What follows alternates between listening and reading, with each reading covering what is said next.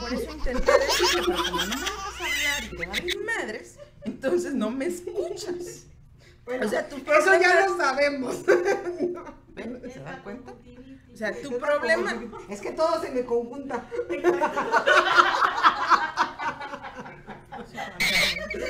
Me conjunto valemos madre. No, si para. Mi conjuntivitis. Así nos juntamos más, mira. Nos conjuntamos más en lo que decimos.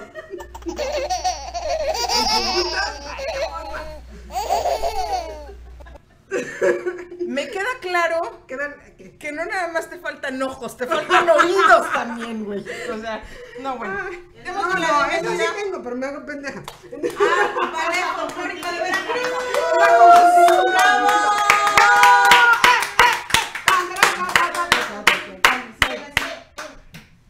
Ay, ¿saben que vamos a quitar las sillas y nos quedamos parados o cómo? Porque caber, somos un chingo ahora. Bueno, yo les hablo desde acá abajo, para allá. porque yo ni me veo si me paro. Hazte para allá. Hazte para allá. Acomodemos el set. Aquí. Ay, ¿saben qué es lo que nos acomoda? En, nos la- en que nos lo acomodamos. Este, nos vamos a ir a comerciales en conjuntivitis. Todos. Sí. La comunidad cristiana Idelán Monte de Santidad le invita a sus reuniones de crecimiento espiritual. Cada domingo a las 10.30 de la mañana en 49 Sandringham de Brampton, Ontario. También puedes acompañarnos los viernes a las 6.30 de la tarde para estudiar juntos la palabra de Dios. Y si te encuentras en Toronto, estamos en el 88 Park Lawn en Etobicoke. Todos los miércoles a las 7 de la noche, juntos creceremos espiritualmente estudiando esa hermosa palabra de Dios. Ven y compartamos juntos este tiempo de edificación espiritual. Te esperamos. Hola, yo soy Tedora A. Dr. Stacy. I'm Dr. Stacy Cooper. I'm the author of Heal Your Health, and I have a special offer for you. I also utilize the quantum biofeedback resonance scan, which is a non invasive tool to see how your body's functioning on the inside before signs and symptoms show up. To receive $50 off the scan, simply mention Rosemary Sanchez and the program Hablando Entre Mujeres, Talking Between Women, and this way you will receive $50 off. Hi, my name is Vicky Chapari. I'm a realtor. I have the chance to meet families every day and help them. Uh, for me, it's really important to know my client and know the expectation and the need, and building a relationship, a friendship. Buying, selling, or even renting is one of the most important financial decisions and even emotional. So it's so important to know each other and to trust each other and we start working together. To my client, I have a wonderful group of professionals that I work with as a lawyer, mortgage broker, home staging, painters, and I love to provide that information to my clients as well.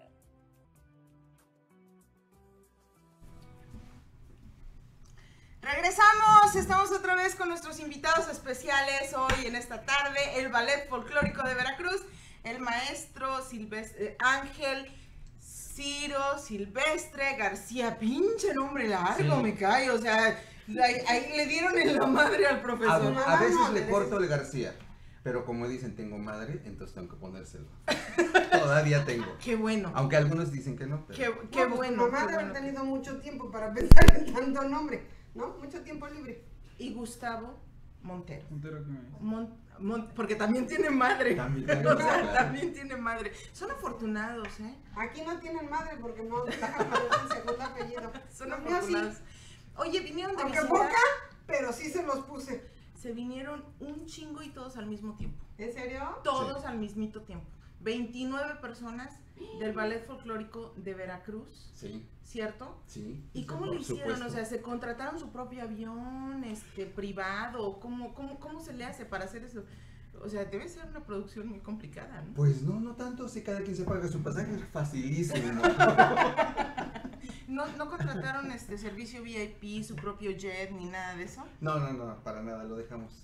Se le había ponchado la llanta, ¿Al jet? la jet. Los jets, pero era guajolojet, yo creo. Sí, por supuesto. Entonces, bueno, pues nos visitan nuestros amigos desde Veracruz, de Veracruz, gracias a la Casa Cultural Mexicana que nos eh, organizó todo este evento para el Festival de Cielito Lindo Fest. El pasado sábado se presentaron en el Harbor Front Theater y estuvo padrísimo. La verdad es que yo me divertí mucho. Sí, sí, te gustó. Eh, sí, la verdad es que estuvo muy divertido. Yo, a- aparte de que me sentí muy orgullosa de, de ver el, el espectáculo que traen, además me divertí con la Catrina. La Sí. Catrina es espectacular. Hoy se nos perdió, ¿verdad?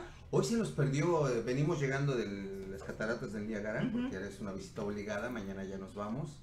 Y eh, quién sabe dónde quedó. Ah, Se me hace que, ¿será que está muerto o anda de parranda? No, anda de parranda, anda nadando yo creo, porque... Segu- Sí. Seguramente La que quisimos dejar por un momento. a la, a la, a la Catrina. ¿Y tú qué haces? Soy bailarín. Pero no Eso haces. dice. Eso, Ah, Eh, güey. sí. pero que A un intento de eso. bailas, eh, pero qué tipo de baile, puro zapateado.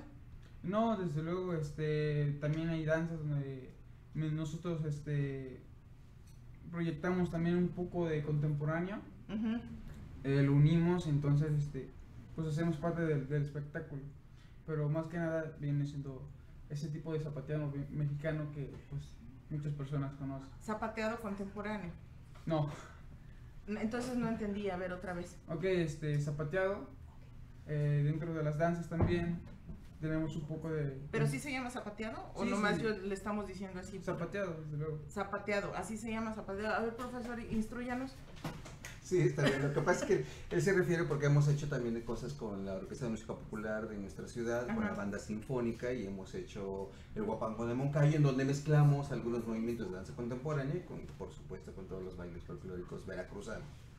¿Todo es de Veracruz o presentan No, no, no. eh, bueno, si te fijaste en nuestro programa que para los que se lo hayan perdido y tuvieran que haber ido, ¿verdad? Este, pues estamos celebrando Día de Muertos en verano.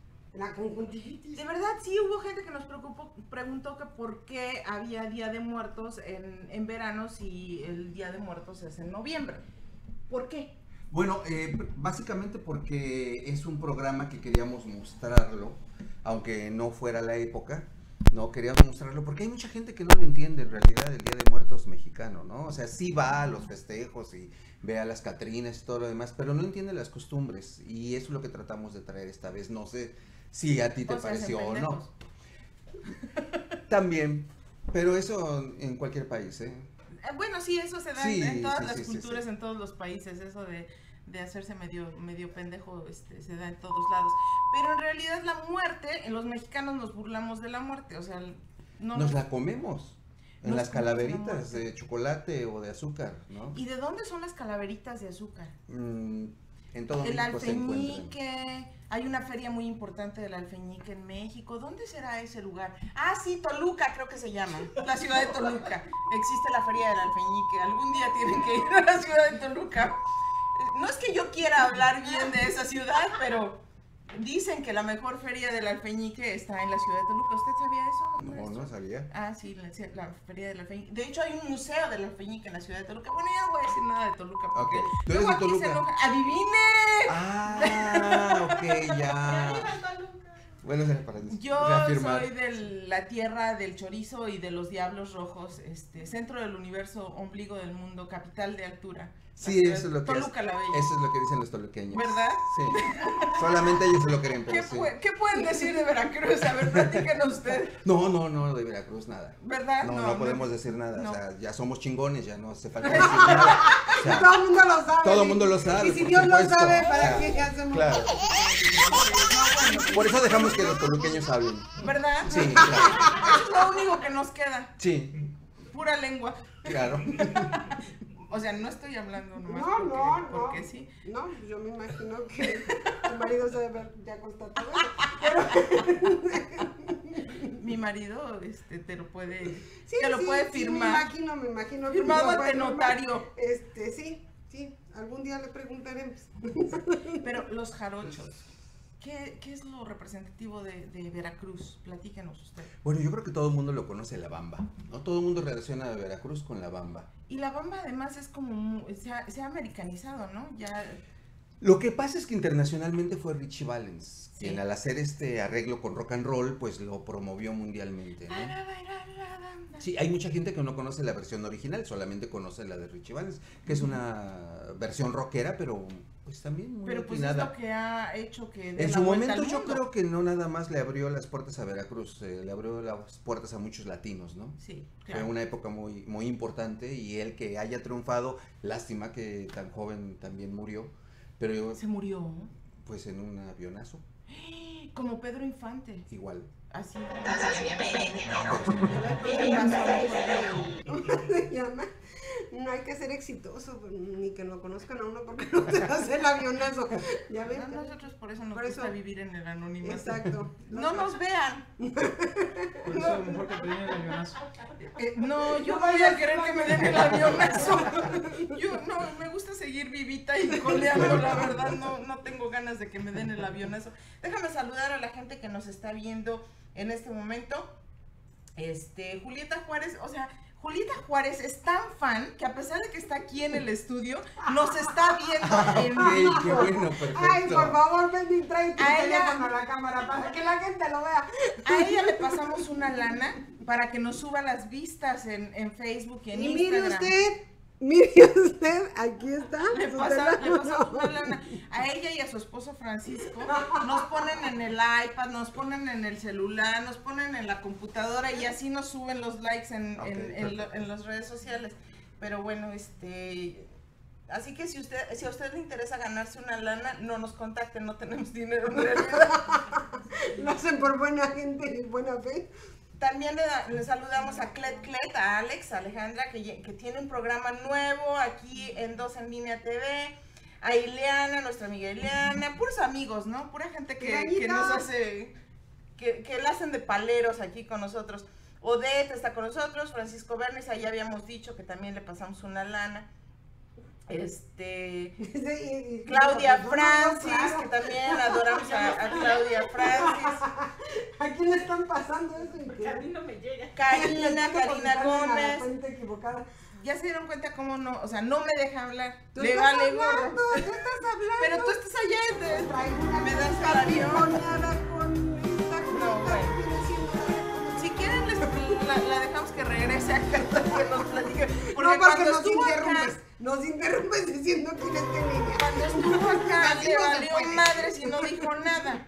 O sea, ya tuvo su chance, ya tuvo su oportunidad Pues y la, de- la que desaprovechó.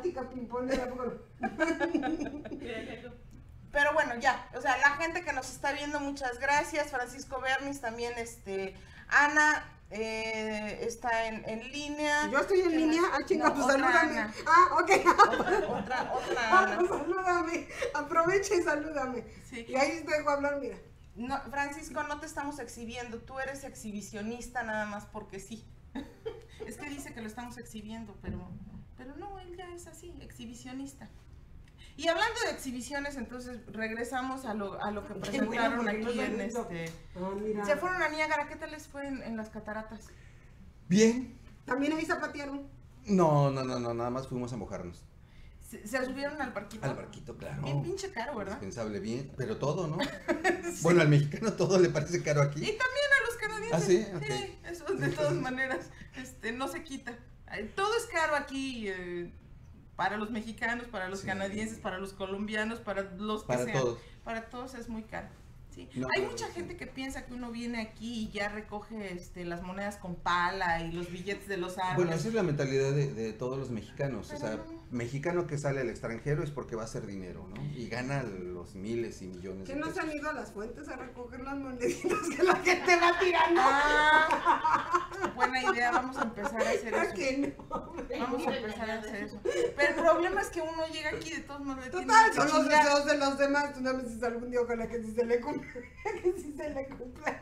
Entonces, Efectivamente, pregúntenle a la Casa Cultural Mexicana, también tienen que chambearle, también le tienen que Sí, chingar, sí, sí, o sea, sí, sí, sí, sí. todos le venimos aquí, o sea, se trabaja aquí y en China. ¿Y ustedes se dedican nada más a- al zapateado o a qué más se dedican? Yo, por mi parte, soy también estudiante.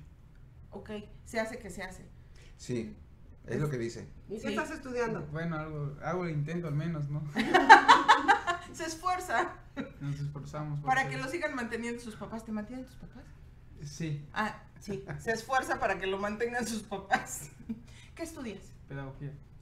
Ah, va a ser maestro. Va a ser pedago. Pedagogo. Pedagogo. Por la peda y luego gogo. Pero a ver, luego se va de gogo. Pero la- la- Pedagogo. Sí, Claro. Sí, borracho a gogo. Exacto. Sí, pero peda para, este, para los cuates. Porque borracho se oye muy ¿En la bien. carrera o no son pedos? Sí, ya desde el renombre de pedagogía. Ah, ahí tenemos. lo tienen, sí. Tienen Fondo, fondo, fondo, fondo, fondo. ¿Qué hace un pedagogo? Ya en serio. En serio, bueno, un pedagogo eh, como No es cierto, en serio, no, no es cierto. Sí, sí, di. Vamos a ver entonces.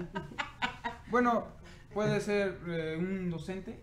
Ujú. Él tiene, puede, tiene muchas, este, mucho campo laboral. Puede también administrar. Perdón, ¿se puede ser decente y ser pedo también? Claro, luego también. Porque dijiste, ¿no? Que se tiene que ser gente decente. Docente. ¡Ah, Docente. docente! Dos. Ah, yo pensé O sea, que decente. Dos veces Ah. centes. Docente. docente. Ok, sí, puede ser docente. Docente, pero también borracho. Ah, al mismo tiempo. Sí. Claro, digo. A los lunes, por ejemplo, es tan decente que los lunes no toman. Esos son los albañiles, él no, No. albañil. Bueno, no, pero porque educado. no No Cuando- quiere romper tan rápido la semana, güey. Entonces sí es educado y sí es Eh, decente. Por eso. decente. Es un borracho decente. Es un borracho decente. Profesor, ¿usted también es borracho decente? Claro. No lo No, digo, sí, lo digo no. muy Eh, lo- soy egresado de la Escuela Nacional de Maestros, Ok. así que sí soy también docente. O bueno, fui docente, me acabo de jubilar. Si Este- conocen un trabajo por ahí, por favor. Pero si se acaba de jubilar, ¿por qué está buscando trabajo? Porque la jubilación no alcanza, Ah. pero ya me jubilé para descansar y voy a trabajar en otra cosa. Pero lo vemos trabajando aquí. No, sí, la verdad, la verdad es que este, he dedicado parte de mi vida en- a la danza. ¿O es ¿no? amor al arte? Es amor al arte. Este grupo lo fundé en 1990. ¿Usted lo fundó? Sí, Ok. lo fundé en 1990 y ahora que me jubilé dije, bueno, pues de todos modos regreso a, a esta escuela. Porque la había dejado un tiempo, lo dejé nueve años por Ujú. otro tipo de dirección artística de otro grupo. Porque Y pues, hay ahora que regresé. trabajar para comer, ¿verdad? Sí. Y el Pero arte- estaría excelente la siguiente etapa, por ejemplo, para una escuela de baile. En México, regional. Aquí hay una escuela de baile. Oh, no, sí, pero él. Ah, en México. Ah, bueno, no, lo que pasa es que esta es una escuela, en una escuela de artes. de Este ballet es un grupo en una escuela de artes y Me estoy subiendo en ti. Perdón. No, estoy bien. Es que sí. No está bien, pero. Con trabajo, con, con trabajos cabemos. Pero ya van tres rodillazos que me mete. No estoy, no estoy tratando de acercarme mucho. O sea, está muy jovencito y yo soy casada. No, Y pues yo estamos también soy decente. Sí, lo sé, pero los rodillazos no tienen nada que ver con la decencia. Es que no va a bailar para mañana. Es que nada más lo veo que se rime, que se rime. Y yo digo, bueno, yo tengo más espacio con permiso. Entonces, pues también me río. Yo me acomodo. ¿Pero en qué estábamos? En que usted fundó la escuela en 1900, eh, perdón, No, el, el, ballet. grupo, el, grupo. Es, es una escuela muy antigua, tiene más de 130 años en Jalapa. Es una eh, escuela de artes y oficios Pues que fue joven. fundó, gracias, me conservo, la fundó Porfirio Díaz. Todavía. Bueno, es que Porfirio Díaz le, le gustaba el arte, ¿verdad? Sí. Él, él era. Y, y afrancesado. Este, Afrancesado, sí es un edificio así. También medio tipo. afrentado de sus. Entonces, por eso nos quería meter otra. Otro tipo de cultura, nos quería hacer popov. Todos pero- los días. Y fifís. Sí, ah, a lo mejor él fue el que trajo la onda fifí. Rififis. Sí, Creo, creo que él nos quería hacer medio fifís. Sí, se tardó 30 años y no lo logró. O sea, no tenemos esperanza, güey. Por eso No. quería quedarse más tiempo. Sí, sí, sí, sí, sí, sí. Pero pues ahí viene alguien que a lo mejor sí. Bueno, mira, no me voy a meter en esos asuntos. Exacto, porque- asomamos el penacho y lo sacamos rápido. entonces. Pero además a mí me gustan los penachos. Por cierto que en el, en el, en la presentación que ustedes tuvieron, este, en el Cielito Lindo Fest de la Casa Cultural Mexicana, vimos unos penachos preciosos. ¿Quién hace esos penachos? Normalmente los alumnos, parte de la capacitación de danza de la escuela. El, el ballet es un, es un ballet que ensaya después de que se dan las clases de capacitación a los alumnos. Y en la capacitación se les da vestuario, cómo tienen que hacer vestuario y cómo la utilería. En este caso los penachos la consideramos utilería y entonces eh, lo hicieron los alumnos, algunas generaciones. Sí, así se va haciendo el vestuario de muchos de nuestros cuadros que tuviste. Oh, es- es- Las máscaras esas de calavera grandotas, Sí, también las las... hizo cada uno. ¿De verdad? Sí, claro, guiados también por un... Es que entonces es un ballet muy completo, no nada más se dedican a bailar, sino que también ustedes hacen su propio vestuario, su propia utilería. Parte sí, parte no. O sea, los ponen como a siempre, chingarle. ¿no? Sí, claro. No hay de otra, no es un ballet con presupuesto, igual que ustedes saben de eso. Sí. No un ballet con El presupuesto, o arte sea... normalmente no deja hasta que te mueres. Claro, yo estaba contratado, sí, ya eres famoso. Yo estaba, yo estaba contratado nada más para dar una capacitación de danza. Pero en la capacitación de danza yo vi que se podía hacer algo más y formé este, formé este grupo, pero oficialmente, como me dicen los directores, a ver maestro, acuérdese que a usted no se le paga por tener un ballet. O sea que en cualquier momento también, adiós, muchas gracias, ¿no? Es desechable. El ballet sí. Uy, Pero ya es difícil, ya tiene 30 años, hemos ganado dos veces el premio que da el estado de Veracruz al emérito juvenil en danza, hemos tenido muchas cosas, pero nunca sabes, México ya, cuando entra un nuevo, una nueva dirección, un nuevo político, un nuevo gobernador, muchas veces lo que hay atrás, adiós, muchas gracias, vuelve a comenzar, ¿no? Eso Oye, lo sabes. Y son... Y, ay, Pues se sería una lástima, la verdad, porque Ya no supe lo que iba a preguntar, la tenía, lo tengo aquí en la punta de la lengua, pero se me olvidó. Pero continúa yo ahorita, yo pregunto ahorita que me acuerdo. No, pues yo te estaba esperando que dijeras algo. No, digo, sería una lástima que se acabara este presupuesto. No hay de veras nada de presupuesto. No, no, no hay presupuesto. Lo que en nosotros México, hacemos es presupuesto cursos. porque la ¿no? verdad es muy cursos para maestros eh, y con eso vamos obteniendo algunos recursos. ¿Dónde se valora más el trabajo artístico? ¿A- ¿En el extranjero o en México? Eh, Ay, no, pues el nuestro yo creo que se valora más siempre en el extranjero. Bueno, pero es normal. O sea, los aguacates se valoran más acá y son más caros. Ahora están de moda. Ah, fíjate. Están de es lo que me habían dicho, que estaban de moda los aguacates, me voy a venir para acá. Sí, están de moda. No, bueno, oh, me dejo sin palabras. Y eso es como difícil, ¿eh? Ok. Eso, eso es como, como difícil. Pero bueno. Oiga, ¿por qué no invitamos al maestro Sí, este, claro. Jorge Zárate de la Casa Cultural Mexicana? Que además gracias a él estamos aquí en que nos Toronto. platique un poco de cómo estuvo aquí el, el asunto de traer. Ustedes, se confo- ustedes dan clínicas y con eso es con lo que... Vamos juntando, sí. Van juntando sí, dinero claro. Para poder, Para este, poder tener dinero para hacer el vestuario. El vestuario es en realidad es bastante caro, ¿no? Sí, claro, me imagino. El, vestuario es bastante caro, pero eh, no todo el mundo lo entiende. De todos modos hacemos mucha labor social allá en, en- en nuestro estado. Hacemos mucha labor social. Si una escuela tiene algún festival, nosotros vamos, no cobramos. Y, o sea, creo que eso es lo que nos ha valido también ser uno de los grupos más conocidos porque no cobramos y nos invitan mucho. Pero la verdad el espectáculo es el mismo que tú ves aquí, que el que le llevamos a un jardín de niños o que le llevamos a una encrucijada. Hemos bailado en calles, eh, colonias proletarias y se lleva lo mismo, el mismo vestuario, el mismo espectáculo con música y todo, ¿no? ¿Y no será eso que mejor hay que cobrarles una lana? Bueno, es que Porque, normalmente digo, si los sí, invitan, que den una donación. pero ¿no, nosotros Sí. hacemos ese tipo de labor social, creemos que, que es la obligación en todo caso, ¿no? Tenemos la suerte de tener la sede en una escuela con un salón bellísimo, con una escuela Claro. que tiene más de 100 años y a pesar de todo, pues aunque no nos den dinero, el apoyo de que nos dejan hacer locuras, todos los programas artísticos con orquestas sinfónicas, con cosas de Cricri, con todo lo, todo lo hacemos. Eso nos dan una libertad, cuando menos de creación artística, no todo el mundo lo tiene. Y sobre todo una institución que te, cuando menos te protege y te avala para tener un lugar donde estar. Pero es que también sería excelente que, por ejemplo, pudieran salir más veces, venir al extranjero mucho más veces a traer la cultura mexicana, a traer esos bailes regionales que son tan divinos, a que la gente los conozca.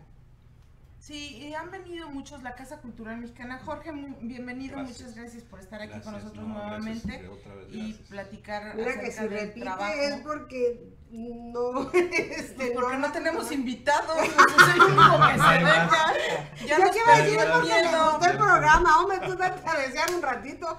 Ya nos perdió el No, miedo, ¿verdad, Jorge? gracias. O sea, ya, ya se sienta aquí al lado de nosotros sin, Ya casi sin te subo así miedo. la pierna. Tú súbelo, hombre, total, pues a fin que eso no sale en la cámara. Este, no, muy, muy, muy agradecido de estar acá nuevamente. Muchas gracias, muchachas. bueno. De verdad que es un honor siempre estar acá. Este, Y míralo, los veo así Y de además- que no se me vaya a pegar la conjuntivitis. Y yo, Además es el único, además es el único. No, no es cierto. Continúa. Gracias. Bueno, este, muy contento de los resultados. Eh, el, el espectáculo fue de primer nivel. Yo, yo siempre les digo, si no les gusta, le regresamos el dinero. Este, de algún lado tienen que salir los fondos. No podemos hacerlo por lo pronto como quisiéramos gratis, como lo hace el maestro, pero este, en un futuro cercano este, pre- estamos trabajando para eso. Pero este, fíjate que lo único triste de todo esto es que es un espectáculo de primer o fue un espectáculo de primer nivel. La, todos Yo creo los que es, porque eh, todavía es- sí, se sigue presentando. a eso, eh, eh, pero es triste que la comunidad no responda como debiera. Y ¿Te refieres a la comunidad mexicana? a la comunidad mexicana, sí, por supuesto. Este, es una tristeza que, que, que no, no, no asistan a este tipo de eventos. Mira, este, se nos acercó mucha gente llorando de, de- de la emoción de ver. Sí. Y, y- y eso es, es, es- ese sentimiento que despierta el arte vale más que 20 dólares que se van a gastar. O sea, son 10 cafés. Y que créanme que es, es, es, es algo Es que... que, disculpa, pero la partida del café es difícil de, de, de, de, de- de pasar a, a hubieras dicho, o sea, son dos, este, ¿cómo Dos se- pedas. bueno, cuatro cervezas. cuatro chelas, eh, sí, para que veas. Eh, y, sí y- y este, y entonces es triste porque eh, eh, quisiéramos, vamos, es triste ver que el, el público canadiense venga y diga, que yo estoy aquí, ten- los dos años han estado con nosotros. Sí. Y dicen, ¿y qué pasa con los mexicanos? Pues que, que es, es, es, es un poco frustrante eso, ¿no? Seguimos trabajando, creemos que en algún momento este, van a responder. Yo sí vi momento. más gente de, de otros países, tuvimos oportunidad de platicar con, con gente eh, que son de otros países, no, cuando me refiero a canadienses es cualquiera que no es mexicano. Ajá. Eh, gente canadiense, sí, claro, canadienses, colombianos, canadienses, hondureños, canadienses, salvadoreños, canadienses, franceses, canadienses, alemanes, canadienses, o sea, todos los que no son mexicanos. Y la verdad es que la gente estaba muy impresionada, muy contenta. Y dijeron, wow, qué pedo, o sea, esto sí está muy impresionante. Eh, las escenas fueron muy dramáticas Sí. Fue eh, incluso en algún momento eh, difícil de entender por qué están presentando esto que está así como tan desgarrador y luego le metes el elemento de la Catrina con, con mofándose de la muerte, eh, la gente bailando al momento que hay un, que, que hay un, un muerto, muerto y hay un niño. y es un niño. Este, para los que no tuvieron oportunidad de ver esta presentación, empieza desde, hacen un, un- viaje desde la, pre- desde la época prehispánica, Prehispánica. hasta la, la muerte como se celebra en, el- en la época moderna. Y habla también de muertos, que la muerte no, no distingue edades, sexo, religión.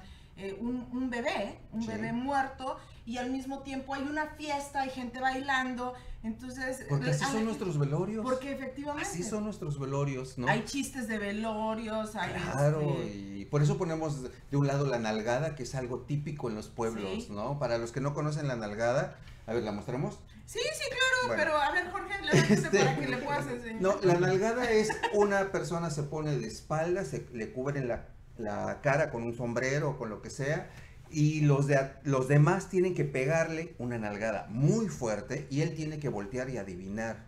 Y eso es algo muy típico en los velorios, porque además como todo el mundo ya está pedo, Sí, claro, ¿no? Por porque todo ahí lo sí que se dan repartió. café en piquete. Sí, claro, por Sí. supuesto. O nada más a veces ni quieres el café, nada más quieres el piquete, ¿no? Sí, también. Que es más rico. Este, Entonces, Eso me han platicado. No, digo, No, no, no, si no, no, tienes que niño no te ha constatado. tienes que vivirlo. No te preocupa. yo no bebo alcohol. Entonces, Ah. ¿O Ay, de yo qué piquetes estamos hablando? ¿De qué piquetes? De Todos los piquetes son buenos. bueno, yo nomás decía. Sí, no, y eso es, es una fiesta social. Sí, sí ¿no? es. Se murió alguien en tal pueblo, que además ya está perdiendo. Se murió alguien en tal, en tal pueblo, tú vas aunque ni lo hayas conocido. Se Sabes que vas a comer tamales, que vas a Mole. poner mole, Arroz, que vas a comer frijoles, arroz, frijoles, todo. Y además son ocho días, o sea, son los velo- el velorio y, des- y ahí todos los rosarios hasta el novenario. No, Sí. O sea, es un, es La un gasto. levantada de la Es cruz. La novena. La novena. La novena. novena. La levantada de la cruz. La levantada de la cruz, la llevada al cementerio. Los Claro. mariachis, la gente hace fiesta en los, en los Sí. cementerios. Eso, Y eso está fíjate muy que eso es precisamente la idea, la- era la idea de que la gente entendiera por qué se hace Día de Muertos. A- ahora se está, mira, gracias a- al esfuerzo de muchas personas, el Día de Muertos está penetrando muchísimo en la cultura canadiense, o sea, el canadiense ya reconoce el Día de Muertos y, y fue gracias al esfuerzo de muchos eh, eh, líderes comunitarios como Chucho Mora, que, que tiene el colectivo Día de Muertos, y, y- y son festivales que se ven en Harbour Forum, hacen otro. Entonces el canadiense empieza a entender, pero lo ve muy bonito, pero no sabe por qué, no sabe. Entonces la tarea es, este, de alguna forma, eh, eh, enseñar qué es lo que es el Día de Muertos, por qué nos reímos de la muerte, por qué lo disfrutamos, por qué lo festejamos. Pero la así? tradición ha salido fuera de México ya con eh, Ahora- los esfuerzos de películas, por Exacto, ejemplo, como, como Disney, Sí. como Sí, pero no, Pixar, pero, pero no, como pero no tan DreamWorks. arraigadas, no como se está haciendo en Toronto. En Toronto es, es, es un, es, es un caso muy particular, porque a pesar, hay, hay otras ciudades como Chicago, como Los Ángeles, que tienen algo muy, muy arraigado, pero en, en Toronto es relativamente nuevo, estamos hablando de 10 años para acá, Ujú. que empezó a surgir todo esto. Te comentaba la vez pasada, nosotros fuimos a una iglesia que el primer año, pues todo el mundo se quedaba viendo, ¿y esto qué es, no? El siguiente año no encontramos dónde Pero pues poner es que también somos re poquitos aquí. No, no, me No. refiero a que está, está penetrando en la el canadiense Antes está sí, entendiendo, el canadiense sabe ahora, el canadiense ahora lleva su, la foto de su muertito, lleva una fruta, lleva lo que le gustaba a su muertito, entonces eso es penetrar la cultura mexicana en la cultura A canadiense. lo que me refiero que somos re poquitos es que en comparación con otras ciudades americanas, en realidad la población de Toronto es muy pequeña. Claro. Entonces, y tampoco se habían dado estos esfuerzos comunitarios para, para traer esta, estas tradiciones eh, representativas de nuestra cultura a la ciudad de Toronto. Entonces, yo creo que también ya hay más público y la gente puede, puede hacer Sí, más ya, cosas. ya, ya, ya, ya la gente está más despierta. a- a la- y te digo, está No están muertos, no se hacen, No, no, se hacen los muertos. Exacto. Entonces ahorita sí ya están Bueno, poniendo pues, entonces- vivos, se están poniendo las pilas y ya, ya estamos... eh, Pero lo más importante es que es público canadiense. O sea, es el público canadiense el que, el que está ¿No adaptando la será eso, costumbre. profesor, que, este, que, que los mexicanos, ah, pues ya lo conocemos, ya sabemos de qué se trata, como que a lo mejor no estamos tan... Lo más curioso es que a veces el mexicano no lo conoce tampoco a fondo. O sea, no en todas las regiones de México se ponen altares sí. de muertos. Sí, bueno, La sí. mexicana sí, el fondo. mexicano no. Ajá. El mexicano, pues bueno, pues al fin son nombres, Yo no me acuerdo, honestamente yo no me acuerdo de los altares de muertos hasta que yo llegué a Querétaro. Sí, porque Porque no, en Sinaloa, no en- exacto, no en todos lados Sinaloa se no acostumbra. yo no me acuerdo. Igual y En mi familia norte. que va a estar viendo me va a decir, ¿estás loca? Yo no me acuerdo. Yo hasta que llegué a Querétaro, que fui empezar, empecé a conocer la tradición de, de este, Día de del Día de Muertos, de los altares. Pues, Como que al lado este, más apegado al Y norte, luego, como que estamos más ¿por qué se agregados. quejan de que la gente no sale de Sinaloa? Eh, Bueno, y, perdón, este, es que lo interesante de todo esto es... Ah, pero eso sí, Ah. la banda, cuando se mueren los muertitos en Sinaloa, tal, O sea, entonces sí hay tradición de los muertos, o sea, De sigue sí, siendo sí. una fiesta. Es a lo que iba, que todos son, las, en cada parte del país se, se, se, se celebra de diferente forma. Alegre o triste, o unos lloran, otros cantan, otros, pero, pero se desarrolla No. de diferente manera. Lo de la nalgada, bueno, yo... Eso yo no me la sabía, por no, ejemplo. Julieta dije, también nos acaba de decir en, en los comentarios en Facebook que no se sabía eso de la nalgada. Lo que ocurre y que es lo que mostramos fue en el cuadro con más influencia indígena. Sí. O sea, ¿qué pasa? Ya en las mismas ciudades pequeñas, nosotros venimos de la capital veracruzana, que es Jalapa, ah, ahí ya no se hacen los velorios en las casas. Dígales, profesor, otra vez, la capital de Veracruz, Es Jalapa, con para X. que no se, para que no se, porque luego le preguntas a la gente, ¿cuál es la Ay, de Jalapa. Veracruz? Sí, todo el mundo cree que es la- el puerto de Veracruz, El por puerto. ejemplo. Y no, no, la capital es Jalapa. Jalapa. Sí, este, ahí mismo ya no se hacen los velorios en las casas. En muchas ciudades, en el puerto de Veracruz, en muchas ciudades, Coatzacoalcos, incluso Alvarado, algo otros lados, casi todo el mundo ya se va a esos famosos velatorios y te quitas de problemas, ¿no? Das nada más café, pan y eso es todo. Pero en los Ah, pueblos, qué ¿no? En los pueblos cierran un extremo de la calle, el otro extremo de la calle, Gente huevona, ponen gente lona, coda. o sea, Se sí. quieren ahorrar, el, a ver, y entonces uno No, qué va a hacer, ya el ya no lo pan, el puedes café, hacer. el piquete. Yo viví un tiempo en la Ciudad de. México y se cerraban las calles. Ahorita ya no, jamás vas a poder cerrar las calles por En un la Ciudad de la Ciudad No, de pues México. también tanto tráfico, No, pero. ¿cómo se te- ocurre? pero a mí todavía me tocó, el- eh, no sé si conocen la canción de Chava Flores respecto al velorio. Sí, ¿no? claro. Es genial, o sea, platica todo. Cierran calles hasta para los 15 años y las bodas. Sí, Cerraban. sí, sí. Cerraban. Cerraban, Cerraban. sí, sí, para todo. cerraban, pero yo creo que en la Ciudad de México ya tenemos suficiente con los con, Con los- con los, con con los los que hacen Con los manifestantes, con los manifestantes, ahora también con los muertos y los 15 años y todo, pues a dónde vamos a llegar? A ningún lado porque hay tráfico. No. exacto. Sí, sí, ¿no? en realidad todo eso ya está perdiendo, por eso lo queríamos traer y mostrar. Se está perdiendo la cultura, el folclore se pierde o, o se transforma para seguir viviendo y muchas cosas a veces se pierden en esa transformación o simplemente desaparece. Pues. Sí, Pues que no desaparezca porque la verdad está muy chido. O sea, la fiesta, todo el desmadre que se hace con, con los muertos. Este, el muerto al pozo y el vivo al gozo. Exacto, Entonces, las la verdad es que calaveritas. sí, las calaveritas. Son este, geniales cuando se va este, a acercar el Día de Muertos. Para la gente que no sabe qué son las calaveritas literarias, las calaveritas literarias son versos, eh, son rimas normalmente cortas, pero pueden ser también muy largas que la gente escribe eh, con, con una connotación del, del Día de Muertos, hablando de la muerte y se las hacen dedicadas a personas que son vivas. sí, y a veces son críticas, muy Sí, Exacto, son son, es sarcasmo. Sí, es Sarcasmo, sarcasmo, son sarcásticas, efectivamente, sí. son sarcásticas. Es, Sí. muy, es muy interesante hacer, hacer calaveritas. Muchas gracias No, por haber gracias venido, gracias, Gracias, este, gracias nuevamente al Ballet Folclórico de Veracruz. Y esperemos que no sea la esto. última vez que vengan, que vengan mucho más veces para este seguir enseñando la cultura mexicana. Claro. Y ojalá que vayan, cabroncitos, ¿no? Sí, no se hagan pendejos, no se hagan los muertos, este, y vayan nuevamente a los Apoyen, eventos. apoyen. Les recordamos que sigan a la Casa Cultural Mexicana, que le den like para que sepan de los eventos que ellos organizan y por supuesto que le den like a nuestra página de 2 en línea TV porque es donde nosotros les traemos todos los eventos culturales de la ciudad, este y ustedes van a estar enterados de todas esta, de todas estas cosas. Hacemos transmisiones en vivo eh, y tenemos reportajes muy interesantes, así que no se olviden de darle like, de compartir y, Y si no están interesantes, no importa, usted vaya a verlos, total, no tienen muchas cosas que hacer a veces.